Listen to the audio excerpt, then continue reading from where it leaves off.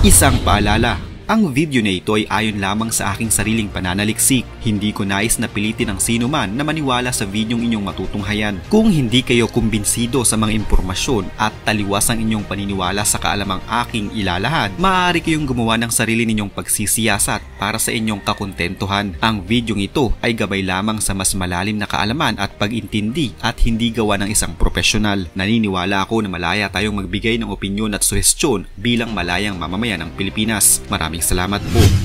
Marami ang nagtataka na bakit tila hindi nauubusan ng armas ang Hamas at patuloy sa kanilang ginagawang pag-atake sa Israel. Saan nga ba nanggagaling ang kanilang mga kagamitan? Ayon sa CIA, ang pangunahing pinagkukunan ng armas ng Hamas ay mula sa dalawang paraan. Una ay ang pag-smuggle nila habang ang pangalawa naman ay nanggagaling umano sa bansang Iran ang kanilang sandata. Hindi man matiyak ng gobyerno ng Israel at Amerika ang totoong naging papel ng Iran sa nakaraang pag-atake sa Israel. Ayon sa mga eksperto, ang bansang Iran ang siyang pangunahing nagsusuplay ng mga smuggled na mga sandata na kadalasan ay idinadaan sa mga tunnel o di kay ibinabangka papasok sa Gaza Strip. Malaki pa din ang pakinabang ng mga tunnels ng Hamas upang iligal na lang maipasok ang kanilang mga armas sa kanilang mga kampo. Ang mga tunnel na ito ay siyang naging target ng Israel na pasabugin dahil bukod sa nagiging kuta ito ng Hamas ay nagsisilbi daanan ng mga ito ng kanilang mga illegal na transaksyon. Ang pagpapagawa ng mga tunnel na ito sa Gaza ay nagsimula bago pa man iatras ng Israel ang kanilang tropa sa Gaza taong 2005 nasa mahigit kumulang 2,500 mga tunnels ang meron sa Gaza na nasa ilalim ng kanilang border sa bansang Egypt. Ito ay daanan ng mga smuggled na commercial goods, fuels at mga armas pandigma. Taong 2010 nang ipinagsawalang bahala na ng Hamas ang pag-smuggle ng mga armas at kagamitan na idinadaan sa mga tunnel dahil sa binuksan na ng Israel ang mas maayos na pag-import ng mga produkto na dumaraan sa legal at mas maayos na proseso. Kinalaunan ay sinira na din ng Egypt ang mga tunnels na ito upang hindi na magamit ang ilan. Subalit marami pa ding mga tunnels ang ginawa ng Hamas sa paglipas ng panahon. Taong 2006, ginamit ng militanteng grupo ang isang tunnel sa ilalim ng border upang patayin ang dalawang sundalong Israeling nagbabantay sa border habang hinabol pa ang pangatlo. Taong 2013 naman, nadiskubre ng Israeli Defense Force ang isang 1.6 kilometers long at 18 mm deep na tunnel na may konkretong pader at bubong na nagdurugtong mula sa Gaza patungo sa isang bahagi ng teritoryo ng Israel. Nadiskubre ito dahil sa hindi pangkaraniwang tunog na naririnig ng mga residente malapit sa tunnel. Sa sumunod na taon, mas pinagsumikapan ng puwersa ng Israel na sirain ang mga naturang tunnel na nagiging malaking banta para sa kanila. Nasa mahigit kumulang 30 mga tunnel ang winasak ng puwersa ng Israel, subalit isa sa mga tunnel ang nagamit ng Hamas upang mapatay noong panahong iyon ang apat na mga sundalong Israeli. Ayon sa mga eksperto, bukod sa ginagawang daanan ng kung ano-anong mga ilegal na bagay ang mga tunnel ng Hamas at sikretong lagusang upang lihim na umatake, nagsisilbi din umano ang mga ito na taguan at kuta ng mga militanteng grupo. Ang mga leader umano ng grupo ay sa mga tunnels nagtatago at pinaniniwalaang nakakapamuhay sila na mas maayos at komportable sa loob ng mga tunnels.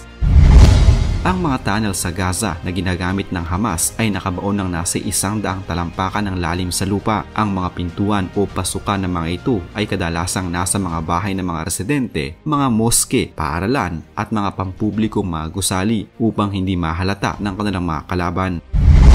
Dahil sa pagtatayo ng mga tunnels na ito sa Gaza, ang dapat sana ay pera para sa muling pagbuhay sa Gaza na donasyon mula sa iba't ibang bansa na maaari ding gamitin sa pagbili ng semento upang gamitin sana sa pagsasaayos sa mga nasirang bahay at gusali dahil sa mga nakaraang kaguluhan ay mas piniling ilaan sa pagsasaayos ng mga naturang tunnels. Sa ngayon ay puspusan ang ginagawa ng puwersa ng Israel upang masira ang bawat tunnels ng Hamas sa Gaza. Ilang paraan na ang kanilang ginamit upang maisakatuparan nila ito.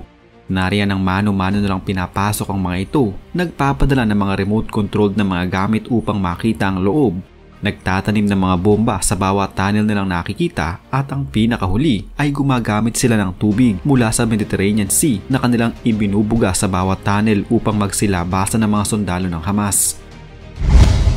Subalit tila hindi pa rin sapat ang mga ito upang mas maging mabilis ang pagsira sa mga network of tunnels ng Hamas sa Gaza. Kaya naman isa na namang makabagong gamit ang kanilang gagamitin upang mas mapadali ang kanilang misyon. Ang kanilang bagong gamit ay tinatawag na SpongeBob. Hindi ito karakter sa isang cartoons na si SpongeBob pero may pagkakahawig ang mga ito dahil pareho naman silang sponge. Tila hindi nauubusan ng mga bagong gamit ang Israel at handang gumastos ng malaki para lamang maisakatuparan ng kanilang pangako noon na pupulbusin nila ang Hamas. Ang sponge bomb tulad na din ng pangalan nito ay isang bomba subalit hindi ito tipikal na bomba na nakikita nating sumasabog at nagdudulot ng malaking pinsala sa lugar ng pinagsabugan nito. Paano nga ba gumagana ang sponge bomb ng Israel? Ang sponge bomb na bagong gamit ng Israel ay itinuturing ngayon bilang kanilang secret weapon ang bomba na ito ay hindi isang typical na bomba dahil nagtataglay ito ng isang klase ng sikretong likido na kapag sumabog ay bigla na lamang lumalaki at nag expand Lalaki at titigas ito na parang foam na epektibong nagtatakip ng mga butas, pagitan at kahit palagusan ng mga tunnels at labasan. Dahil dito ay napipigilan nito ang maaaring pag-atake ng Hamas mula sa kanilang mga tunnels sa pagkakatakip ng mga lagusan na ito gamit ang sponge bomb ay maaari nitong masira ang plano ng Hamas gamit ang kanilang mga tunnels. Hindi ganong nagbigay ng impormasyon ng IDF tungkol sa kung paano nila ginawa ang sponge bomb. Wala din silang inilabas na pahayag sa kung anong kemikal ang kanilang ginamit. Imbes na malaking pinsala ang idudulot nito tulad ng karaniwang mga bomba, Isang high impact explosion ang gagawin nito at magpapakawala ng foam na mabilis na nag expand at siyang bumabara sa mga lagusan ng tunnel. Sa mga lumabas din na balita, sinasabi nila na ang mga tunnels na ito ng Hamas ay sanga-sanga at magkakarugtong. Sa tulong ng SpongeBob ay matatakpan ito ng mabilisan ng mga lagusan patungo sa iba't ibang direksyon ng tunnel at maiiwasan ng sorpresang pagsulpot at pag-atake ng Hamas sa Israel. Ang konsepto nito ay katulad din ng ginagamit sa mga constructions industry. Maaari ding makabili ng kagaya nito sa mga hardware na madalas na ginagamit upang tapalan o di kaya ay mabilisang lagyan ng laman ang bakanteng butas o awang. Panoorin ang video na ito upang mas maintindihan kung paano ito gumagana.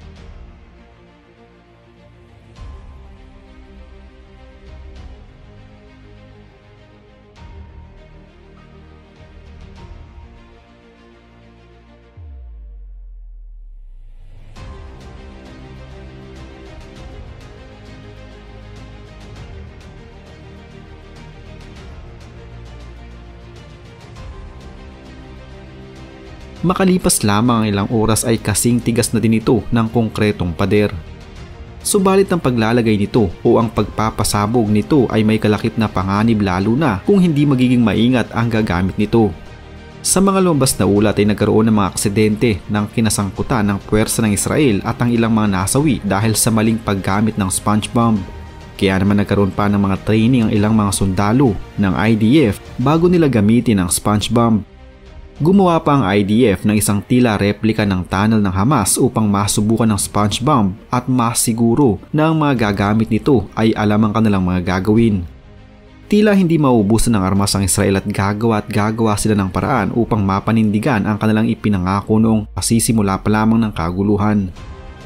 Ang mga tunnel na ito ay siyang naging target ng Israel na pasabugin dahil bukod sa nagiging kuta ito ng Hamas ay nagsisilbi daanan ng mga ito ng kanilang mga ilegal na transaksyon. Ang pagpapagawa ng mga tunnel na ito sa Gaza ay nagsimula bago pa man iatras ng Israel ang kanilang tropa sa Gaza taong 2005. Nasa mahigit kumulang 2,000 at 500 mga tunnels ang meron sa Gaza na nasa ilalim ng kanilang border sa bansang Egypt. Ito ay daanan ng mga smuggled na commercial goods, fuels at mga armas pandigma. Taong 2010 nang ipinagsawalang bahala na ng Hamas ang pag-smuggle ng mga armas at kagamitan na idinadaan sa mga tunnel dahil sa binuksan na ng Israel ang mas maayos na pag-import ng mga produkto na dumaraan sa legal at mas maayos na proseso. Kinalaunan ay sinira na din ng Egypt ang mga tunnels na ito upang hindi na magamit ang ilan. Subalit marami pa ding mga tunnels ang ginawa ng Hamas sa paglipas ng panahon. Taong 2006, ginamit ng militanteng grupo ang isang tunnel sa ilalim ng border upang patayin ang dalawang sundalong Israeling nagbabantay sa border habang hinabol pa ang pangatlo. Taong 2013 naman, nadiskubre ng Israeli Defense Force ang isang 1.6 kilometers long at 18 mm deep na tunnel na may konkretong pader at bubong na nagdurugtong mula sa Gaza patungo sa isang bahagi ng teritoryo ng Israel. Nadiskubre ito dahil sa hindi pangkaraniwang tunog na naririnig ng mga residente malapit sa tunnel. Sa sumunod na taon, mas pinagsumikapan ng puwersa ng Israel na sirain ang mga naturang tunnel na nagiging malaking banta para sa kanila. Nasa mahigit kumulang 30 mga tunnel ang winasak ng puwersa ng Israel, subalit isa sa mga tunnel ang nagamit ng Hamas upang mapatay noong panahong iyon ang apat na mga sundalong Israeli. Isa na namang kwento ng pagbabalik tanaw sa kasaysayan ang naitampok natin ngayon. Huwag kalimutang i-like ang video ito at mag-iwan ng komento sa ibaba ng mga nais nyo pang malamang kwentong kasaysayan sa Pilipinas mag-subscribe na din para lagi kayong updated sa mga pinakabagong video dito sa Kasaysayan Pinoy. Magandang araw po at mabuhay ang bansang Pilipinas!